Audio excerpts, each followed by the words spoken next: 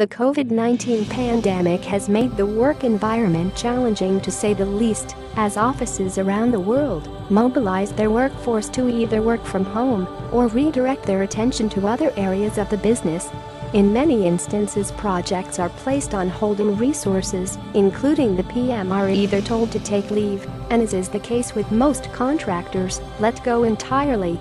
This in turn causes its own set of challenges, all of a sudden we are no longer office-based and have to deal with the plethora of negative news and still focus on the well-being of our loved ones. If you look at your training as a project manager, would you say that you are prepared to negotiate the oncoming twists and turns? For the season campaign or more than likely for those just starting out at sink or swim? One thing about being involved in a global pandemic, we are all in this together, and a lot of the outcomes are based on ideas from many different areas, whether they are locally or globally. If a good idea to maintain project delivery is shared via a social media mechanism then it should be seriously considered. As the stakeholder is still concerned with the positive outcome of a project, because once the pandemic has subsided then it is all hands to the pump so during this time it would be a good idea to ask the stakeholder how they would prefer to receive information.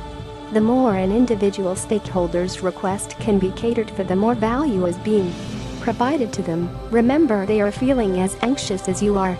Maintain relationships with the client and the overall team as best as possible. Working in isolation or remotely doesn't mean that information also has to be remote.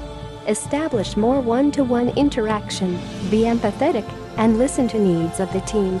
Make special effort to make contact with them on a daily basis. This could be via a daily stand-up or an email which is not work-related, but care factor-related.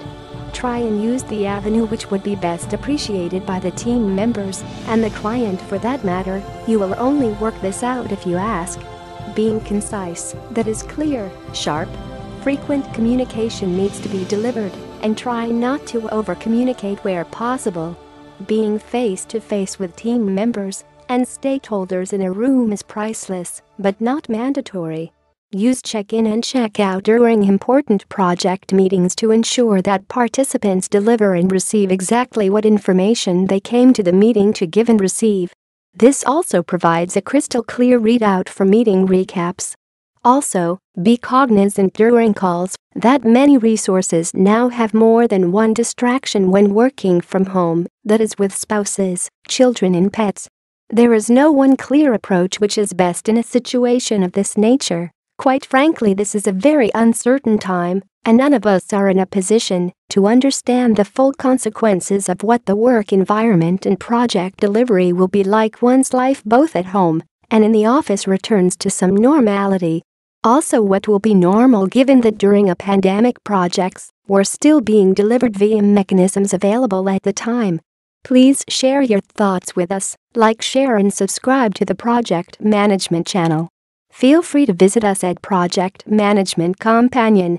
Com. We wish you all the very best on your project management journey.